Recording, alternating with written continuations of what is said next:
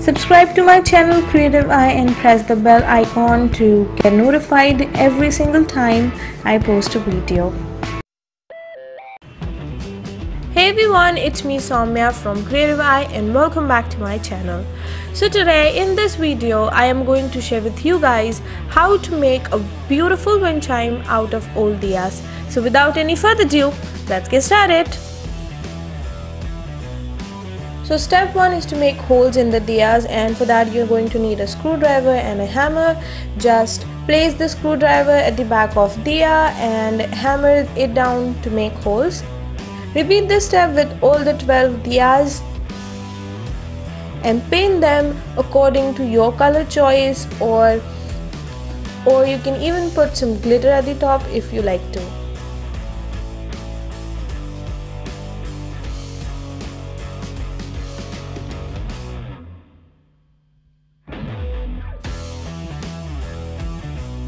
So for step 2 you need some small beads, some large beads and a strong thread.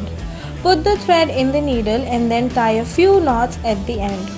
After that add a small bead, then the diya and then the large bead. Now here the length of the thread will increase at every diya. That is for the first diya if the length of the thread is 2 inches then for the second diya it will increase to 4 inches then to third diya it will increase to 6 inches and so on so for every diya the length will increase by 2 inches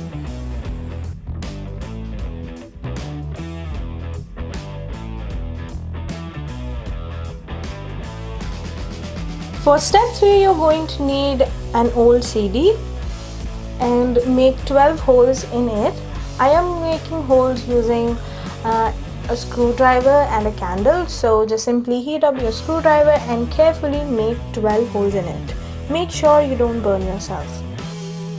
When it's done take your diyas one by one and tie them tie all of them according to their length with the CD and then add a dot of super glue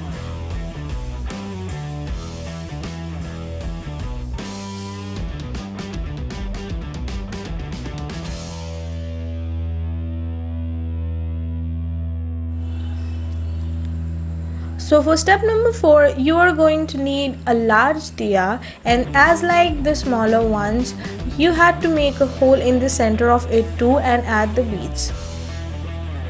Paint the diya and make the thread in a loop so that you can hang it wherever you want to. Now all we need to do is paste this diya at the top of the CD and here I am using the normal school glue but you can choose whatever glue fits good to you uh, just apply the glue at the corners of the diya and place it at the top of the CD and when it's get dried voila you are done with your beautiful wind chime so that is it for today guys. I really hope that you like this idea of recycling your old diyas and converting into a wind chime. So definitely try it at home, click a picture and post it to my social media. Also if you're not aware of the giveaway the giveaway is still going on and all the details are in the description box below. So definitely go and check it out and grab a chance to win amazing prizes. Till then thank you so much for watching and i will see you very soon. Bye